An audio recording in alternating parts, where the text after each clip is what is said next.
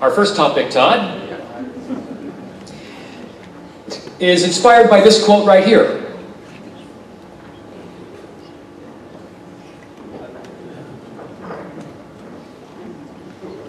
What do you think? Now, I actually describe authenticity as, as like the number one aspirational goal. And I often tell audiences like this that, uh, that you know, that that's, that's the thing that you're after. But then I started to think about this. I do get better at it. I mean, the more I do it, the more I feel like I can express authenticity to an audience. So what does that make me? Am I a phony? Because I can actually practice it and get it better. Maybe George Burns is right. Maybe he was onto something. And, uh, and I want to put this to the group. You know, we, we talk about authenticity as being, as, as being, in some cases, the most important quality that a presenter can have. I don't know. Is it? Who are we going to first on this one?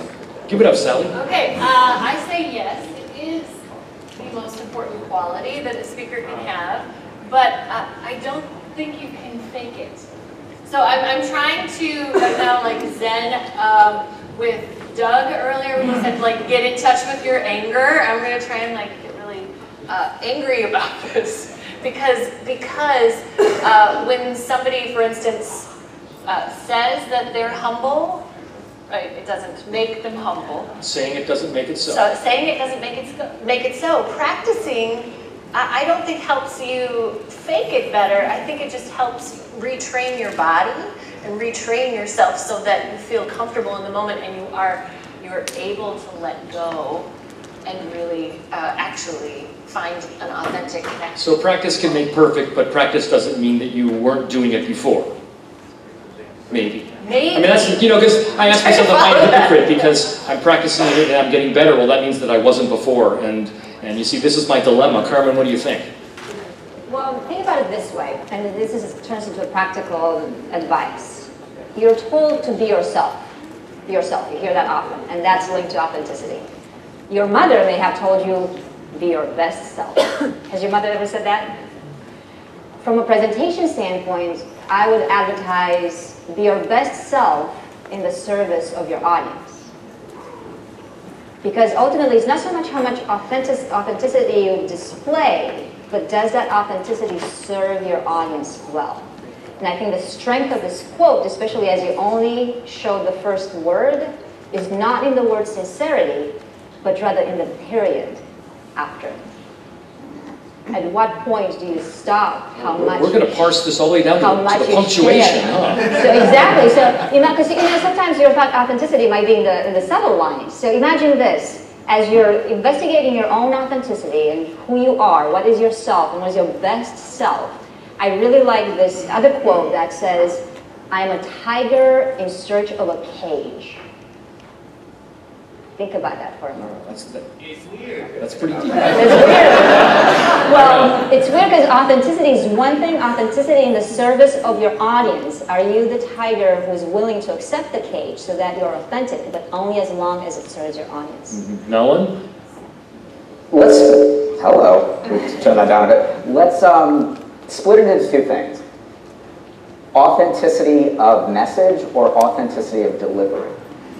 So I would say authenticity of message is important because if you're not, basically you're lying. Like if I didn't believe in exercising and I got out here and I said, oh, you should go to the gym every day, that would be inauthentic. But I think I have to put on some sort of maybe inauthentic persona when it comes to delivery. Because if I spoke, every time I got up to speak, if I acted the way I did at a party, I'd probably be off in the corner by myself talking to one person.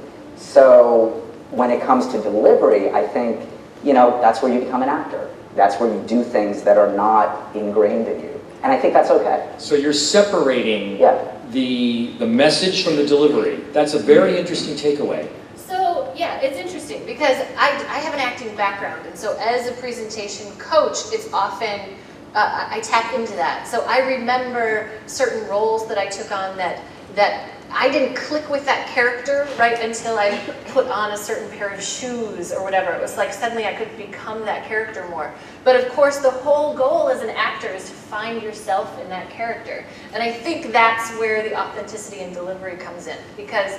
Uh, yes, you could get good at, at being like, you know, Mr. Crowd person if you're not that somebody, right? But, but there's a way that you would do that that is going to be different from somebody else. And that's where the authenticity piece comes in. Like what, what I tell my clients is, you know, who feel this out of body experience. That's how they explain it. It can often feel like, I, suddenly you don't know what to do with your hands and you know it, it, it, freaks the body out a little bit. And so what I try and tell them is like I want this to feel like you but like dialed up a notch or two so that it's still uh, in their gut is like yes this is me. And amped up you. Yeah just just enough so that the people in the back of the room can hear you and it's clear and uh, you're projecting confidence and all of the things that we want it to be, but still you. Who has thoughts on this? Who wants to, who wants to participate? Yes. I'm kind of confused.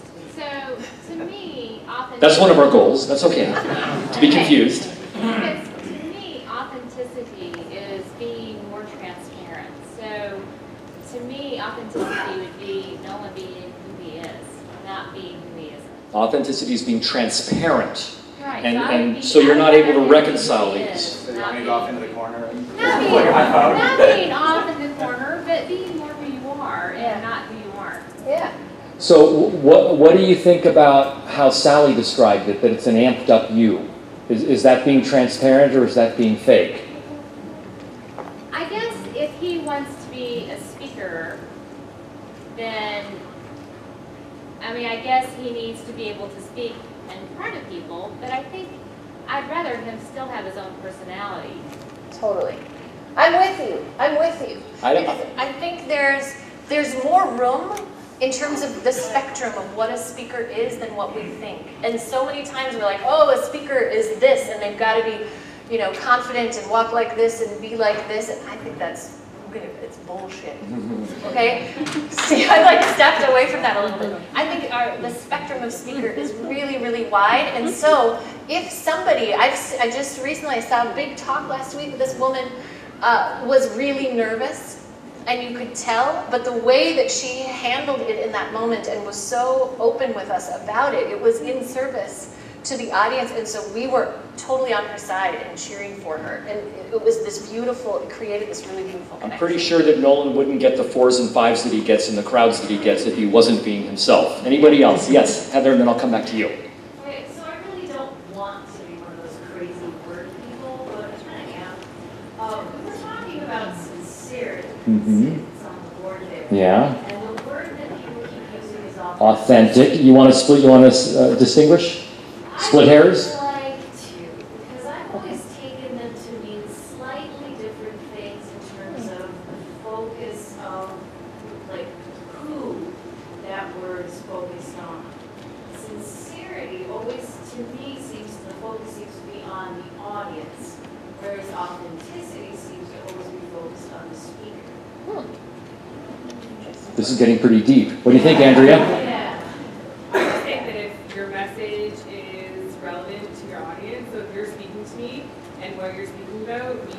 Me and is going to benefit me, um, and if you feel passion for it in your own way, then you can be up there whispering, and as long as I can still hear you, I'm still going to be engaged because you believe what you're saying and what you're saying is relevant to me. So I, I don't need the bells and whistles and all of the fake persona and all of the amped up anything. If you believe what you're saying and it means something to me, then Yeah, and so now we're going to introduce another term, passion. Because if you believe it, then and your audience can feel your passion. It, and it can be a quiet passion. It Yeah. doesn't need to be Right. the top. You just have to. believe what- Okay, very good. We're going to switch topics, but we might come back to this if necessary. So our next one, Carmen kicked up. Talk. Next one. Carmen kicked up quite a firestorm uh, Monday morning uh, by essentially putting storytelling on trial. At least the way that I that I that I interpreted it. You know, because we've heard a picture is worth a thousand words. But can words themselves be memorable? are we really visual people the way we've heard so many presenters tell us so? And who wants to go first here? I think it's you, Carmen. I, I could go first. Um, We're talking about uh, visuals, and physiologically speaking, we are visual beings. 60 to 70 percent of our work with um, receptors, body receptors, through which we take in the world, are visuals. So that's why you cannot go wrong with displaying your messages through visuals. But where do those visuals come from, and what is the format? That's a deeper question we can ask because words can be just as memorable as pictures if they enable our brains to form a mental image. So if I invited you to think, what would you all look like if you had a third eye in the middle of your forehead? Notice how I don't have to show you a PowerPoint slide to enable you to picture that image. So words can be as effective as pictures if they if they enable the audience to form oh, A that mental- picture in their yes. head. Nolan can words as effectively. Do you think that they can as effectively form that picture in the head? Well, I think you have to get down to the type of image because we're all like image crazy and, you know, the, the big stock, you know, metaphoric photo of the kid at the lemonade stand because I want to talk about sales.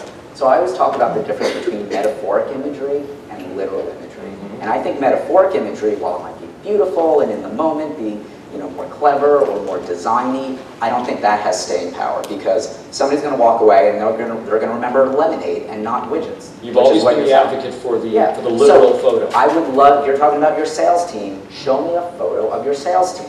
Now, in that world, ideally, it's a memorable photo of your sales team doing something literal, um, as opposed to, you know, the puzzle pieces or the, you know, the, the, the runners, you know, handing off the baton. Because that, it's not literal, it is There's a not. difference though between metaphors and metaphors. So there are some that have been so overly used, Yeah. you say? Like what are some of your pet peeves? Like mine, if I never see that iceberg picture in a presentation ever again, that would be just fine with me. Do you have any of yours? Like what are your words? Oh, Julie, the climbing. The mountain climbing, yeah, the person is, Yeah. they actually have a laptop at the top of the, of the mountain. For me, it's the guy crossing the finish line in a suit In with a a suit. briefcase. Give me a freaking break, you know? The two hands with the earth in the middle, I Yeah. like that one. Arrow, arrow bullseye in the target. Yes. And Nolan, this is what you're referring to. These are all metaphorical photos that. And, and they're cliche and. But let's answer the opposite question. What are some fresh metaphors that you've heard recently? Because we can all learn from you. Surely there's something that you've heard recently where you thought, that is a unique way of putting this. Yeah, go for it. So I, well, we have a lot of and, um, they're, like corporate software ourselves. And I, I made a metaphorical our, uh, like a, a baby picture all the way to elder. And to show like, this is our shared responsibility, our demographic, to show the whole age aspect of who we serve. So, uh, I got kudos from our CEO on that one. For photos that, that covered an entire lifespan. Yeah, just uh, the metaphorical example of the full demographic that we serve from birth to. Sally, what do you think?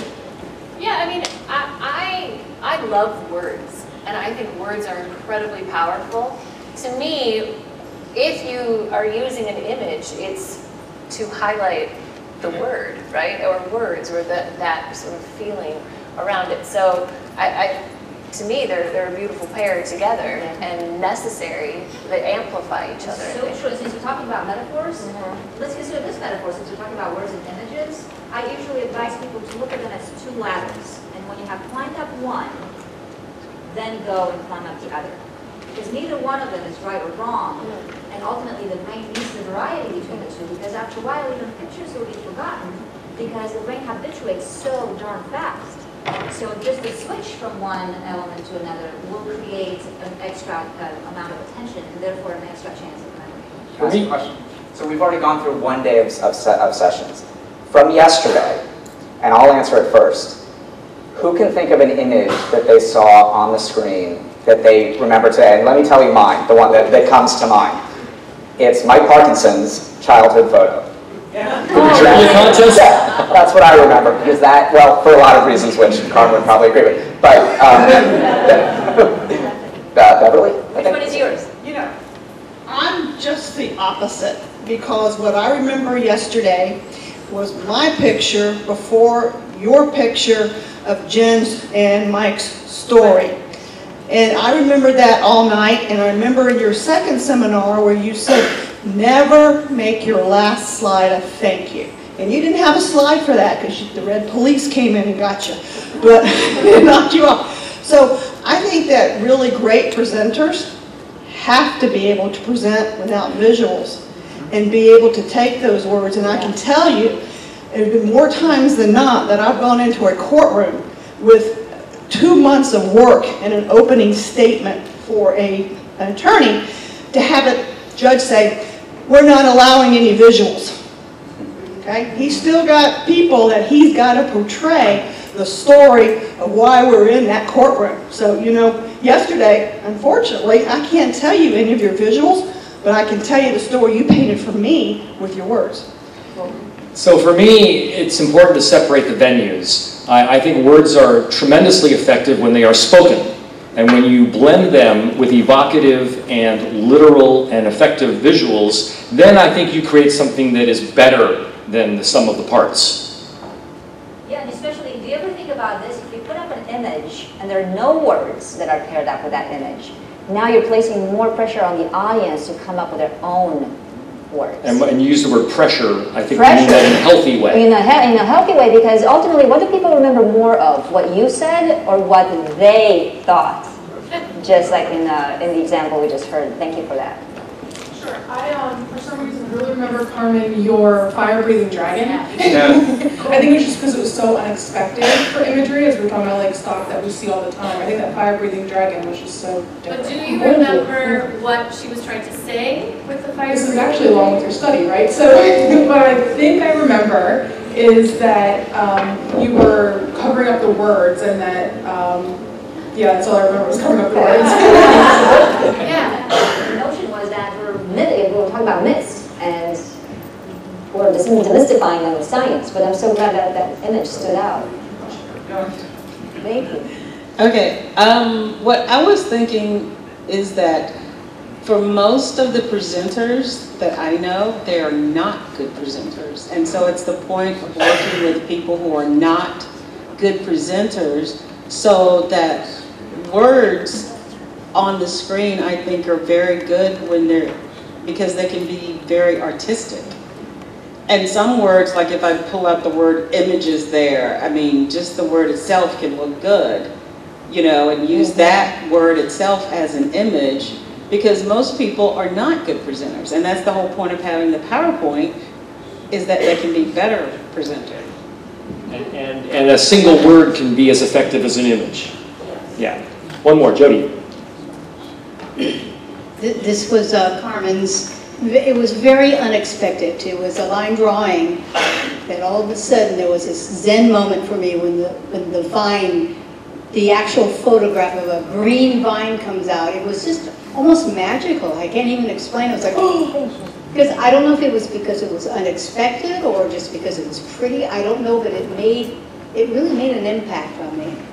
And it was about em- embellishment, wasn't it? yeah, it was, so I'm glad that you remember the idea. So I- the practical guideline for all of us, and, and we're learning from you, is treat all of these elements that you have in your inventory, images, text, lines, shapes, from the standpoint of variety. Because if I had had those vines on 10 slides, they would have lost their impact. If I had had words on 10 slides, after a while, they lose that impact. But the more that you vary the stimulus for the brain, the longer you can sustain attention, and therefore you have a chance at memory. Okay. One, one last thing. I, s- I saw a photo this morning, so it wasn't yesterday, but this morning, of an image that served as a visual bumper sticker that for me encapsulated the whole message of somebody's presentation for me when I think about it, you know, weeks or months from now. And that was Caleb this morning, had a photo up for a long time of him and, and uh, Schwarzenegger, Yeah. right? And to me, Hey, if I that, met the guy, I'd probably keep it up there for Right. a long time too. but that will be the only uh, visual that I remember from that presentation, but it also encapsulates everything about, to me, um, that talk.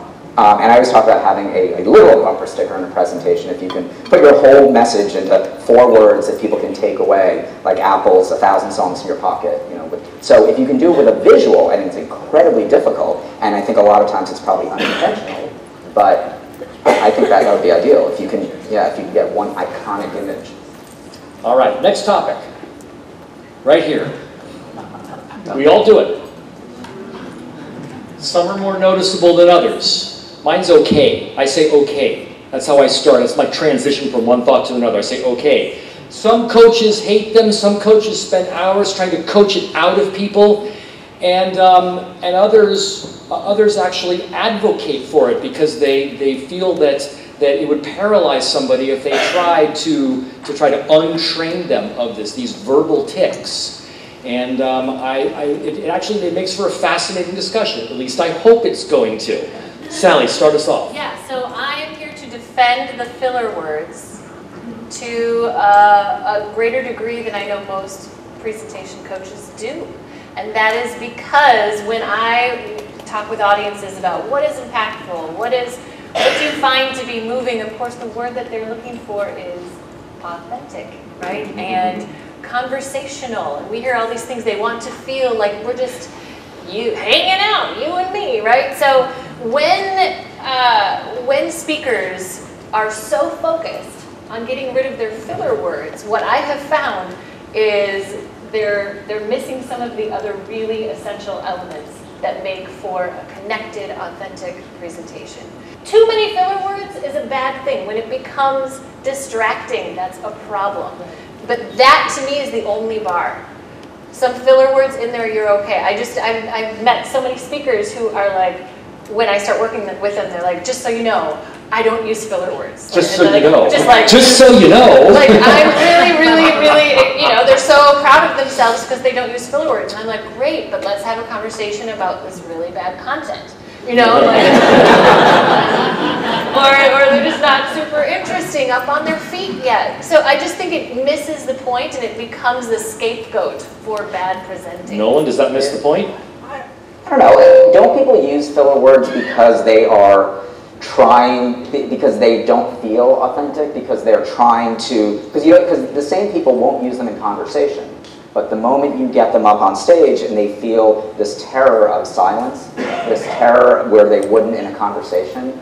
So are they using filler words because they are, because they're, they're not authentic? I don't know. I'm, I'm just, that, I wouldn't, I wouldn't say it's because they're not authentic. It could be because they're nervous, right? But you can be nervous and authentic at the same time. I just, I think that the, most of the time, we in conversation use filler words to such a degree that we don't notice it anymore. Mm. And so if that transfers up on stage and we don't notice it, no problem. Do you think do you think the average person uses the same amount of filler words in conversation as they do up on up on stage? That's a great question. My gut is that there's there's some degree of difference, but not unless I notice that difference, it doesn't matter. Because I personally, you know, I haven't done studies, but I, I, I think people use a lot more when they get up to speak, which to me tells tells me they're overcompensating and we have to get back to being casual. So if I see those filler words, I'm like, you're trying really hard and you're no longer authentic if we're going to stay on that word. I don't And think so- it's nerves. And in fact, I, I don't, I'm not even sure that it's, that they're filler words. I, I find so often that people just need to get their brains jump-started. That, that it's just sort of the, the rhythm of, of their thoughts. And there's one in particular that really fascinates me. And you will hear this all the time now. Just about any interview starts with two words. And so, No, that's not the words I'm looking for. I mean. I mean. Anderson Cooper does it all the time. He starts by saying, I mean. I can understand if you're saying, well, what I'm really trying to say is, and it's almost like their brain has already started and they have to catch their, I mean, it, it- you'll see it now. If you, have, you haven't already noticed it, you can say, oh, damn, that Altman, he's right. Everybody starts with this. and, and, and while, yes, it could be a, an issue if it, um, if it becomes excessive, jump-starting your brain is important. But we, we, we exchanged an email about this, and Nolan brought up a really good example of a time when it's undercutting your credibility. And that happens. This is, this is a serious, real deal. So would you want to share the example you were talking about? Do you remember? College student? Yep. Oh, yeah, so uh, I was watching TV a few days ago, and there was this college student asking a question of a politician, co- congressman. And he started off very well spoken, and And I, and he started asking a question, I actually, you know, was about to look to my wife, and say, this guy, this guy should run for office. But then he started going into the ums and the ums and the, the likes as he got farther into his question, and it was unbelievably distracting. And it also start, I started to say, yeah, he's got some time before he runs for office. All right, and so this was, this was on television? Yeah, This it was just, yeah, it was just like a, it was a college student in the audience, yeah, Yeah, something like okay. that. So, yeah, it was unbelievably distracting. Yeah, that's Um, a problem. Where he started off is incredibly well-spoken and, and all that. So to me, and look, maybe this is just a technical thing. I was, I was a, a, a theater director, so we all know about the technical things that you simply have to make work. Like, yeah, okay, be authentic and everything, but face the audience. Like, that's the, that's a technical thing. You just move this And way. context matters greatly, of course. So when you're on TV and this is a high-pressure moment, you're trying to build credibility, these are all moments where ideally you're not fumbling around, right? But most of us don't present in that scenario. Most of us are in a much lower stakes workshop scenario.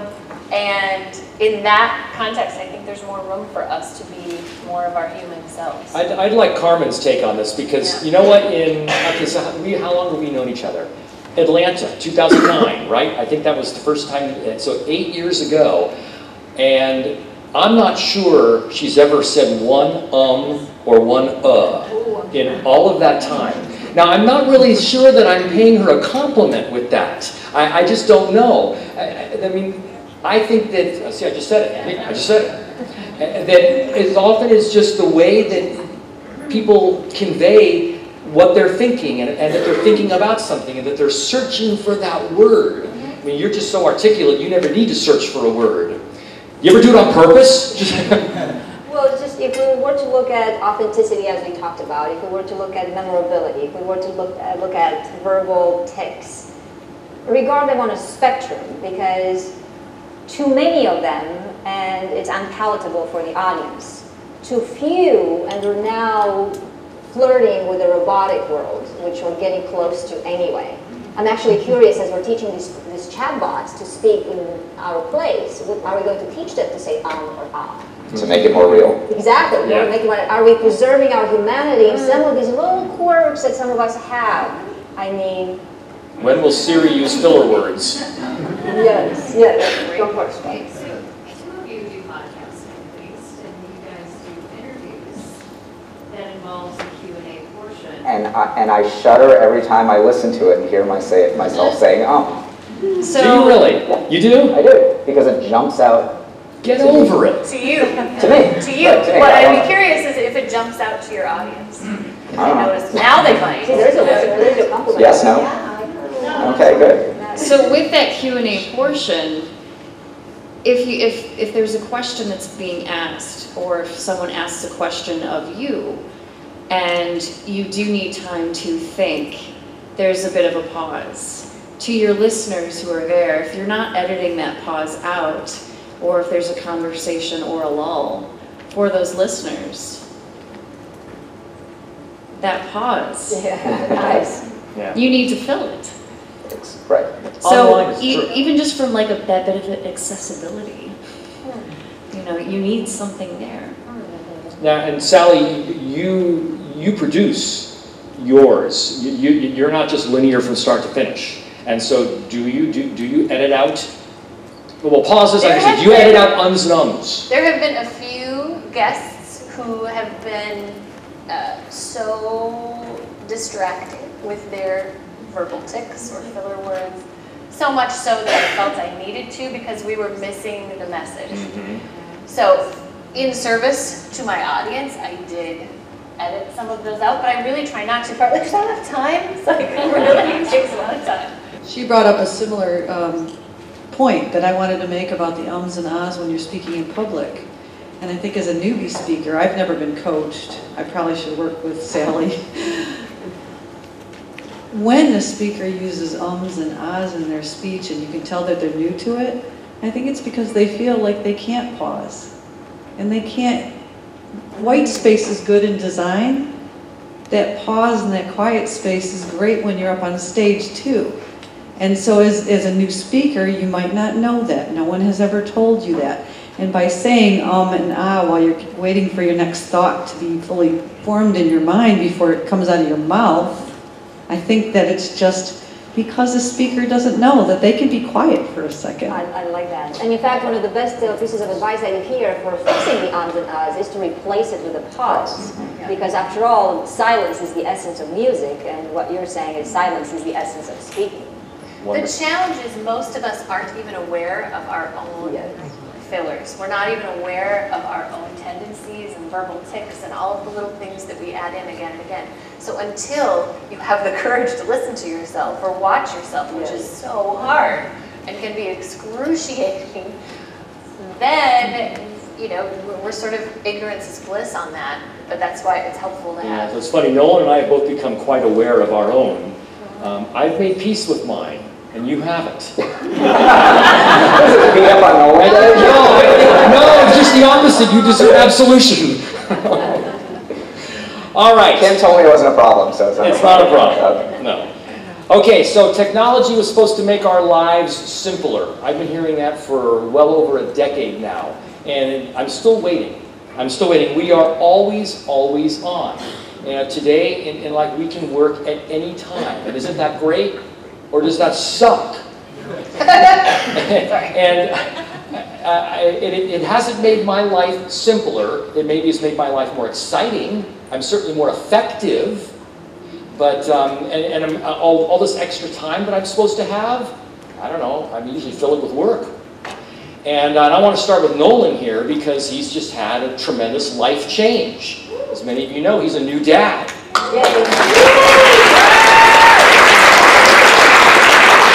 A new dad to twins. It's a miracle that he's here. 12 weeks? 12 weeks, yeah. And uh, so Nolan, start us off here with this always on 24-7 life that we've been leading. So I was on a I was a guest on a podcast called the Freelance Transformation Podcast. Does anyone know it? Did, okay, I think Troy may have turned me on to it. So it's pretty good. It's a guy in Canada every every week or every other week. He has a, a different freelancer or somebody who owns their own business or you know left the uh, working for the man type thing.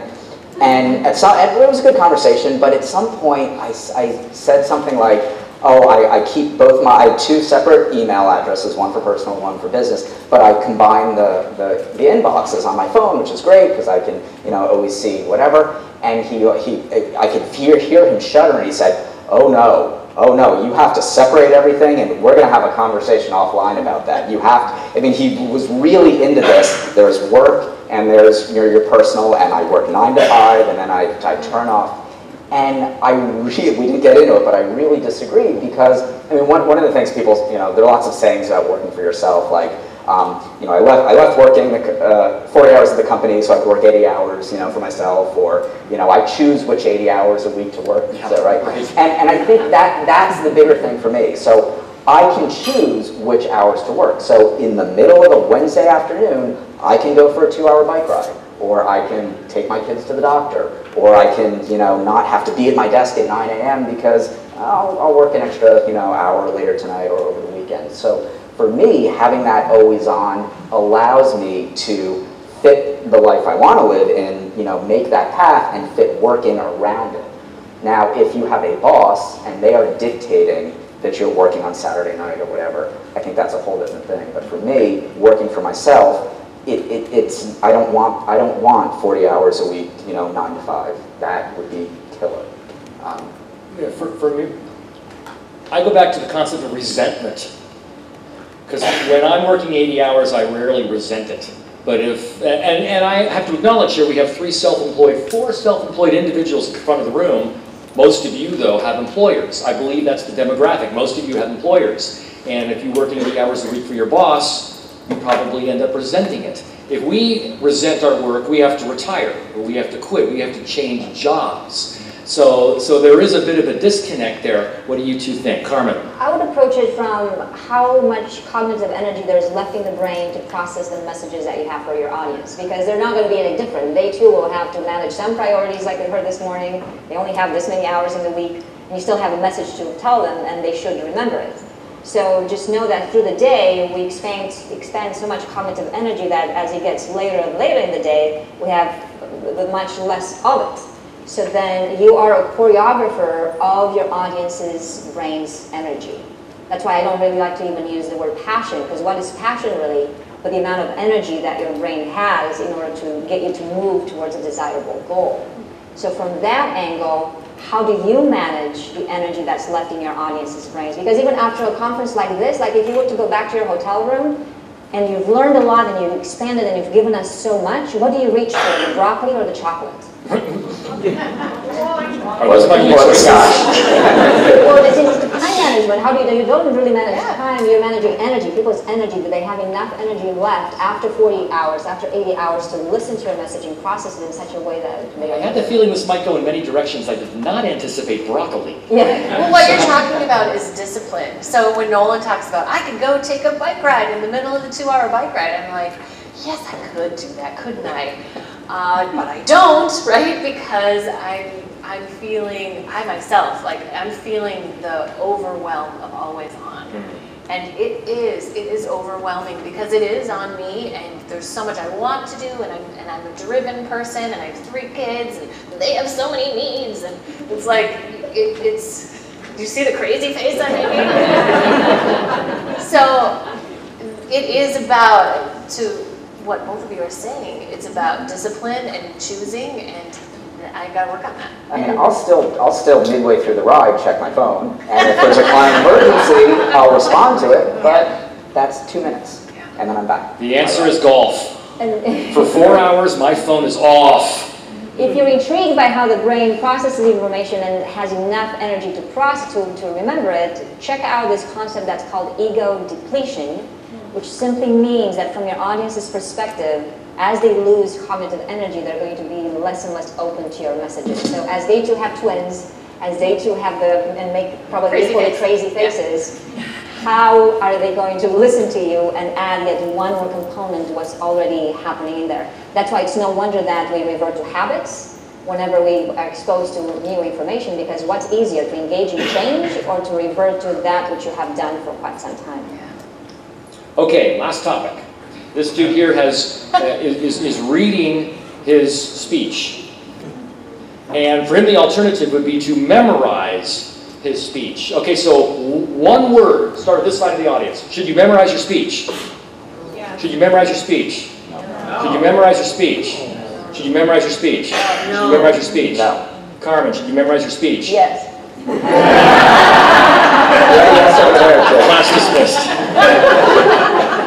So this is really actually a fascinating discussion, I I feel, because um, you know actors they have to learn their lines, and you know ac- actors, uh, a good actor, think he's au- as authentic as sincere as can be, and um, and yet you've heard this from everybody, and and sure, I mean, we all would agree that you don't want that. And that if somebody is up for, thank you very much for having me today, I'm going to, you know, it's just, it's, you can tell. You can tell when somebody has memorized and rehearsed too much. And yet, there is a body of thought that, that, that argues in favor of that, and Carmen is going to represent it. I am, just like we we were talking, again, authenticity, memorability, verbal tics. Now we're talking about memorizing text. Look at it. Actually, here, there's a, meta, a metaphor, and we're going to add some metadata on top of it because we're going to analyze it. So imagine your presentations as a clothesline, and you have the ability to cover it in percentages, in, in ratios. Too much memorization, and you are going to come across as, as a robot. Have you ever seen those bunnies speaking? Uh, it's, it's, it's coming across like that, not in the service of your audience but not enough memorization, and you are doing your audience a disservice. Because have you ever been in a circumstance where you didn't practice, you didn't memorize, you walked out of the room and you thought, I should have said this, I should have said that, and I should have said this other thing? Not only that, but I should have said it this way. For the presentation yesterday, I memorized a few spots because if I didn't get Jen's story right, I would have forgotten the fact that she was wearing the types of shorts and the, the color of her shirt and how the bench was. I had to go over those details. Actually, in the shower, thinking, Jen never forgot the day that she met Mike. Okay, she was wearing um, jean shorts and she had the line. Those details have to come across just so because then I'm not doing you a service because I'm not coherent in how I'm transitioning to the next part.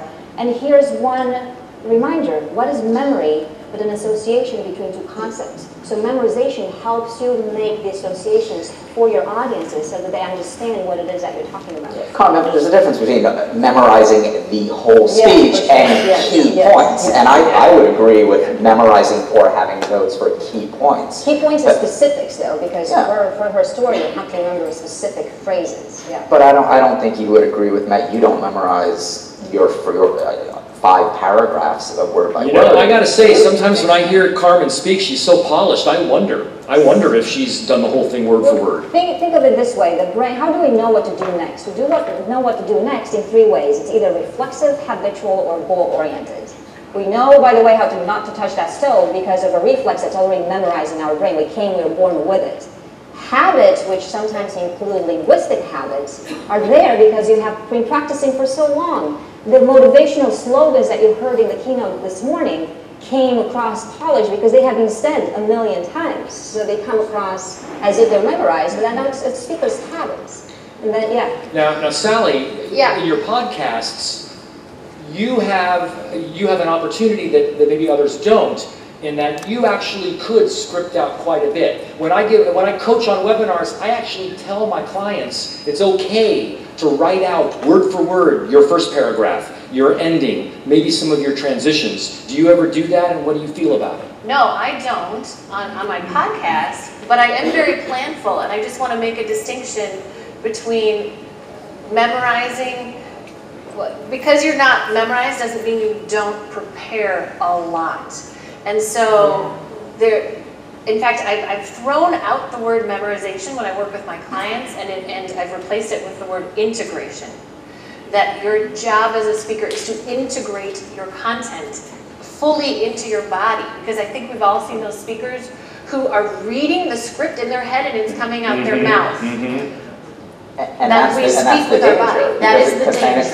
Not authentic. And that's the, the danger, that's the danger. Think about this way. So if we are talking about the brain and how we remember, whenever you're exposing your audiences to different stimulation, our brains build two memory traces. One is verbatim and one is gist. Verbatim, in order for people to remember exactly what you say, that means you have enough repetition where people remember those words precisely. Like if you're in my session yesterday, I was saying control your 10%. I want you to remember that verbatim. The other type of memory is gist, and meaning that you're only getting your audience audiences kind of sort of remember what you said, but not fully. The difference between gist and verbatim from your audience's perspective is that gist will feel very good in the moment. So I don't really have to pay that much attention. I kind of get, I'm familiar with this. But later on, if they get the gist from you and they get the gist from somewhere else and they get the gist from somewhere else, you won't have any distinguishing factor. So some memorization has to happen for what you can consider people to remember verbatim. Don't leave that to chance. I feel like there's something in between, and I call it rehearsing in my head. Rehearsing in your head. Because I will rarely write out everything and try to memorize it like an actor, but, but I will rehearse it in my head, and as I say it more often, I, I will own it. Yes. You know, I, I might own it word for word. Notice how You don't, you're saying you don't this. rehearse out loud. Right. That's what we're all, we're But rehearsing you're having out rehearse out loud. loud, right? That's, Yeah. that's where But it's notice how we're having this conversation I from don't. our own perspective. We don't matter. None of us here matter. You matter. So if I ask a question, who cares how much we memorize? That's, that's fine. Some of us memorize more than others. But what do you remember? What have you memorized from what we shared with you? And that's why I'm advocating that you must think from this angle of gist versus verbatim. If you ever failed a college test, it was because you showed up and you thought you knew verbatim, but you actually only knew gist. Have you ever done, or people that you know, not you. Gist versus verbatim, so think about what they should memorize, and sometimes in order to get to that answer, that means you must memorize more for yourself because you want to impact their memory with precision in some cases. I have to take it back. Pecha Kucha, I rehearse that loud. Oh yeah, so the shorter, you're so right, the shorter the amount of Yeah, presentation, yeah, by the that way, the more you have to memorize, because otherwise you won't get in. Well, and it's, it's all about the process of rehearsal. Yeah. How do you get to the point where you feel confident enough that you have mastery over your content, or that it is, in my integrated? Leah, you're going to take us home. So I have a, a really interesting example from my work about uh, authenticity and uh, memorization. So uh, we have a partner who is one of our, he actually is, Thank you.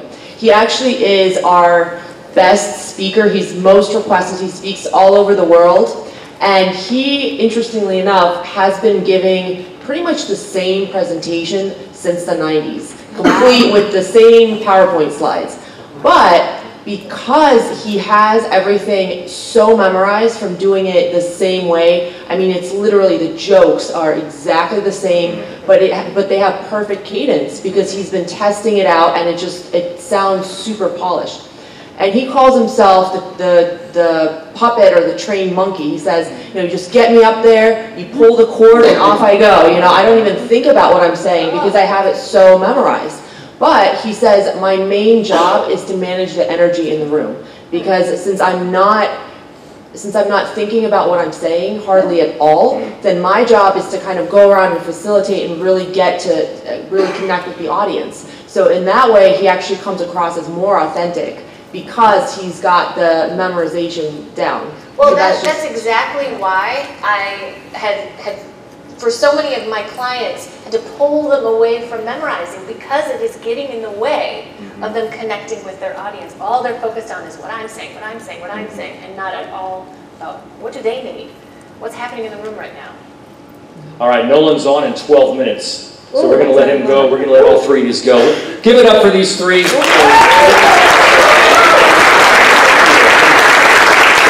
right, our vendors will be happy to see you for the next 10 minutes.